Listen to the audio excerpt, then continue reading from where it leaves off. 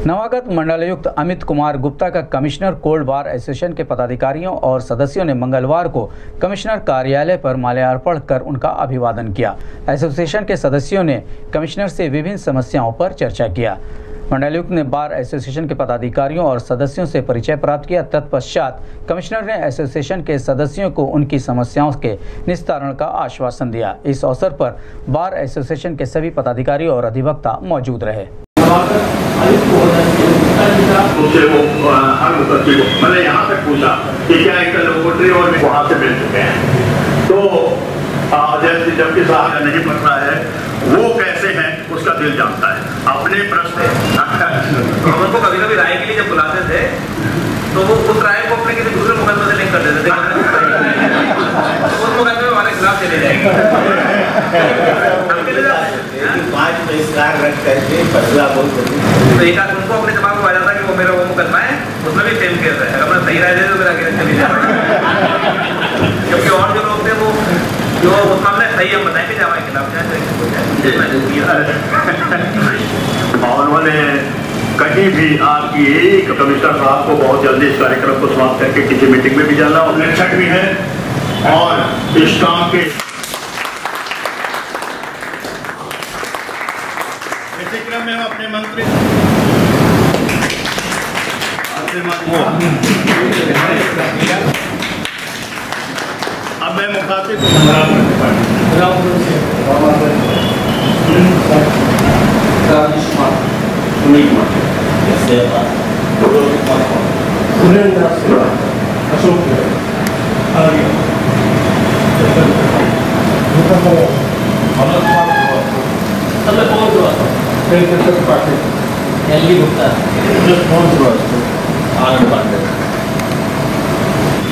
उनके स्वागत समारोह में श्री रामाश्रय द्वारा कर रहे आप आयुक्त महोदय और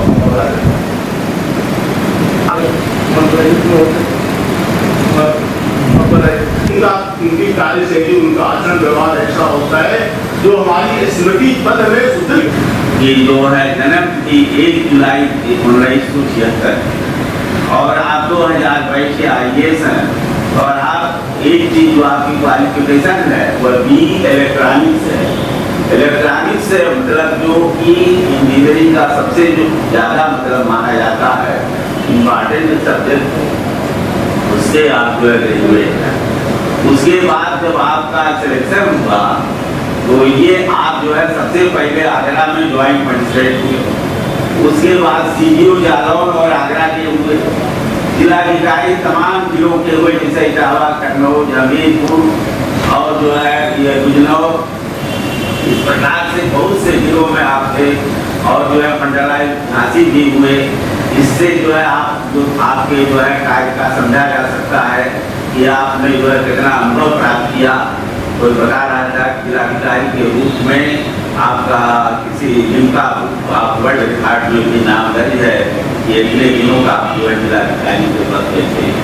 मैं आपको यहाँ पर बिल्कुल विश्वास दिलाता हूँ कि हमारे जो एडवोकेट्स हैं, इनका जो मतलब ये रहता है, वह किसी मुकदमे में जीत का नहीं रहता है, जीत का हार हमारा मतलब तो सिर्फ़ रहता है कि हम जो है, कानून में, न्याय में सहायता करने का मतलब रहता है कि हम एक न्याय न्याय के एक सहायक न कि हम मुकदमा जीत गए या हार गए।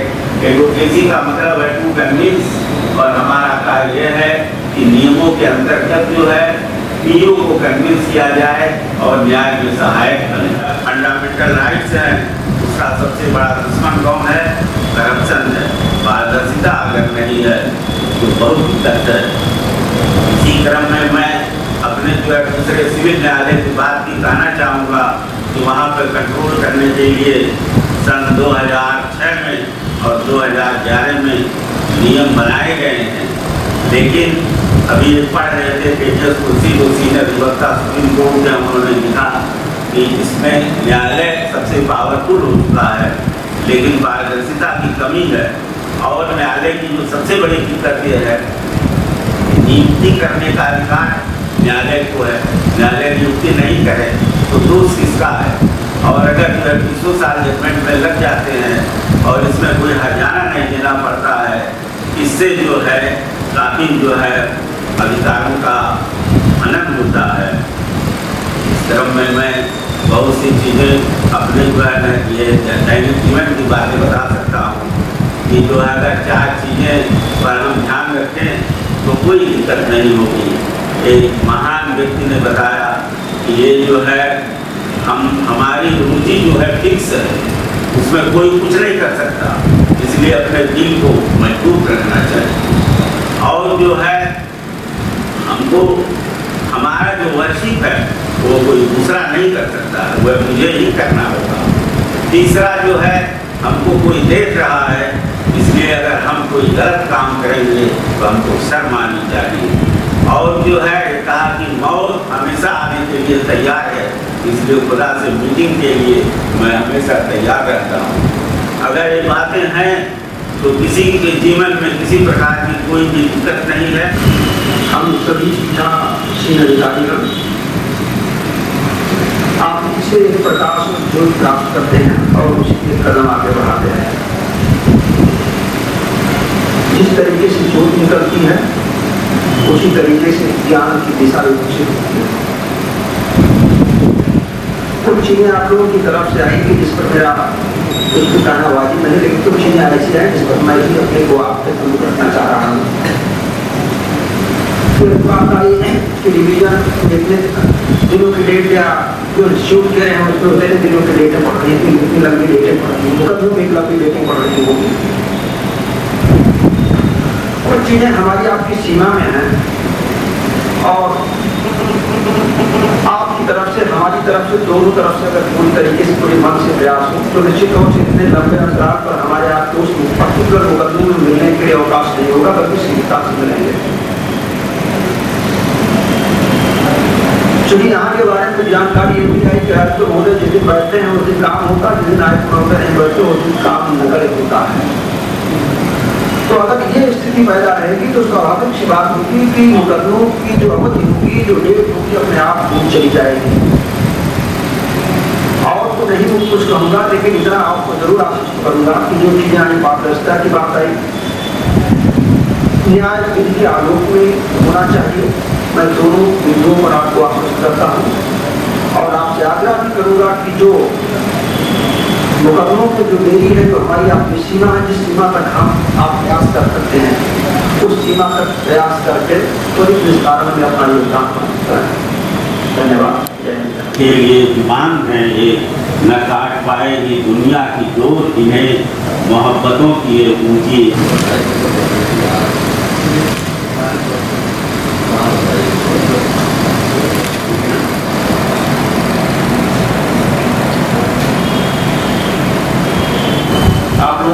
कुछ बातें अपनी संक्षेप में बताई, कुछ समस्याएँ बताई हैं, फिर आपने अपनी अपेक्षाएँ भी बताई हैं।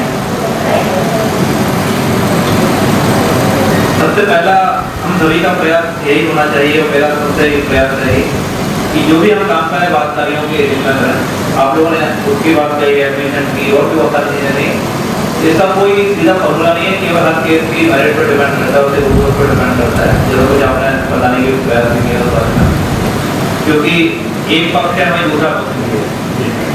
तो गुण दोष के आधार पर निश्चित रूप से हर केस में होना चाहिए सरकार कहीं ये होना चाहिए कि स्टेट अवे उसको रिजेक्ट कर दिया जाए, कि ये तो इंटर की है नहीं है। गहराई में जाके ही उसमें मैं गहराई में जाके ज़रूर उसका परीक्षण करता हूँ। सहयोग आपका निश्चित रूप से करना, क्योंकि कई बार कई लोग मौखिक रूप से कहते हैं कि सही है आपके पास अगर कागज़ होगा वहाँ आपने क्या वाक पत्र दाखिल किया है क्या जवाब दाखिल किया है? कुछ आप लेके आएँगे कोई ऑर्डर की कॉपी लेके आएँगे किसने आपको अवसर दिएगा ताकि सारी मतलब जो करिकुलर चीज़ होती है बड़े काम आती है ये। कई बार लोग कहते हैं तो बताने भी लगा मतलब आप कहते हैं तो ऑर्डर की कॉपी लाइए कि आपको एस ने कि एक ही अवसर दिया मैनेज कर दिया। बहुत सारी चीज़ों की धीरे धीरे हम लोग सब समझ जाएँगे। बल्कि मैं तो ये कहूँगा कि हम एक दो महीने बाद फिर बैठे और जो आपसे करके एक दूसरे से जो समस्याएँ हैं वो जाओ, उनको शेयर करें। क्योंकि ऐसी योजना चाहिए कि बहुत सारी चीज़ें होती हैं छोटी मोटी चीज़ आपकी होती है मान सकते हैं हमारी होती है मान सकते हैं और सबसे सबका काम आसान होता है। कोई अपने लिए काम नहीं कर रहा है। सभी जो व्यवस्था उसके लिए काम कर रहे हैं। और व्यवस्था जनता के लिए काम कर रही है। तो उसको उसका लाभ मिलना चाहिए। मुझे बड़ी खुशी है कि जो मैंने यहाँ देखा पिछले कुछ दिनों में राज्यवर्ताओं का मुझे बड़ा सकारात्मक यहाँ व्यवहार लगा है। लेकिन जैसा एडिशनल कमिश्नर साहब आप ज़रूर उसको देखिए, उसका मानना चाहता मैं तो कहूँगा कि मेरा आपसे सबसे पहला अनुरोध यही है कि वो उसको आप ज़रूर करिए। अगर किसी वजह से आयुष न्यायालय में नहीं हो पाती कार्रवाई तो फराज न्यायालय में ज़रूर कराएँ आप देखेंगे कि ना फराज तैनात है और दो फराज केवल न्यायिक कार्रवाई के लिए तैनात है। अगर उनके दिन वेस्ट चले गए तो आप फिर ये मान के चलिए एडमिशन तीन महीने की अगर चार महीने चले जाएँगे, छह महीने की तारीख में सात महीने की हो जाएँगी। अगर उनके काम नहीं होगा तो फिर कुछ नहीं हो पाएगा। क्योंकि वो तो दोनों इसी काम के लिए तैनात है। और प्रशासन वाले भी उनका भी अच्छा नंबर काम समय में आता है। उन तीनों की तुलना में अगर आयोग देखें तो उनके पास दूसरे अन्य नाम होते हैं। तो अगर आयोग चाहे से बाकी कोर्ट को जोड़ेंगे तो निश्चित रूप से मुकदमे लंबे समय हमेशा पड़े रहेंगे।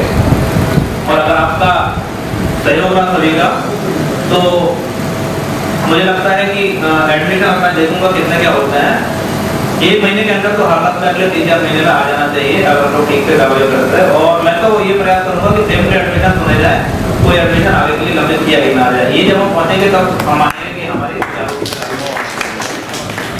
उसमें निश्चित रूप से आपका सहयोग चाहिए विशेष रूप से हमारा न्यायालय में आपका सहयोग चाहिए। और बाकी ज़्यादा कहने की बजाय, हम लोग कोर्ट में ही आपको ज़्यादा अच्छे से समझ में आएगा। ये ज़रूर मैं कहूँगा कि वकीलों के माध्यम से हमेशा सीखने का प्रयास किया मैंने। और कभी मैं ये मान कर जैसा कि जी मुझे पता है आती है। हमेशा मैं आपसे ज़रूर पूछूँगा और आपको भी बताना पड़ेगा कि किसका क्या नियम है किसके क्या कानून है, क्या रूल है हिसाब के माध्यम से। करेक्ट व्यवस्था है। आपने किसी सुप्रीम कोर्ट के उनकी वजह बिल्कुल सही बात है। मैं भी यही चाहता हूँ करेक्ट व्यवस्था बनी अपनी बात में बता पाए तो हम उनकी फ़ायदे के, उनकी बात खुद करते हैं, जो उसमें जायज़ बात होती है। लेकिन मैंने ये देखा है कि कई बार तरह तरह का सीख के बहुत सीखने का प्रयास नहीं करता है। तो उनसे ज़रूर मेरी अपेक्षा है कि उसके बिना आगे नहीं बढ़ेगा। जब बड़े रिटायर हो जाएँगे तो कौन काम करेगा। सभी को मेहनत कर मेहनत का देखिए कोई वो नहीं है।